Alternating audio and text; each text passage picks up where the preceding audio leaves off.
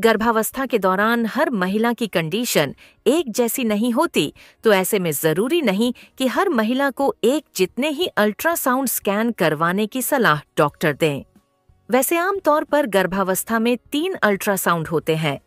पहला ultrasound pregnancy की पहली तिमाही में होता है, जो कि आमतौर पर प्रेगनेंसी के छह से नौवे हफ़्ते के बीच होता है।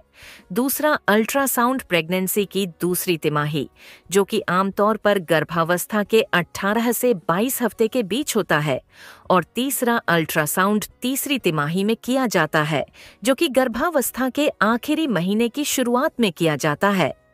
लेकिन आपने इस बात की टेंशन नहीं लेनी कि आपने अल्ट्रासाउंड कब और कितने करवाने हैं।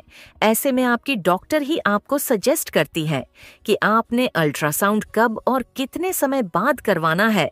आप चाहें तो इस बारे में अपनी डॉक्टर से पूछ भी सकती हैं। लेकिन प्रेगनेंसी के दौरान यदि कोई कॉम्प्लिकेशन है, यदि कोई समस्या है तो ऐसी कंडीशन में डॉक्टर तीन से ज़्यादा अल्ट्रासाउंड करवाने की सलाह भी दे सकती है।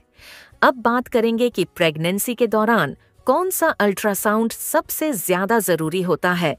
दोस्तों, प्रेगनेंसी के दौरान अल्ट्रासाउंड ज़रूरत से ज़्यादा नहीं करवाए जाते।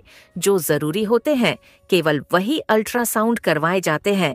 लेकिन यदि सबसे ज़रूरी अल्ट्रासाउंड की बात की जाए तो प्रेग्नेंट महिला को पहला और दूसरा अल्ट्रासाउंड हर हालत में ज़रूर करवाना चाहिए।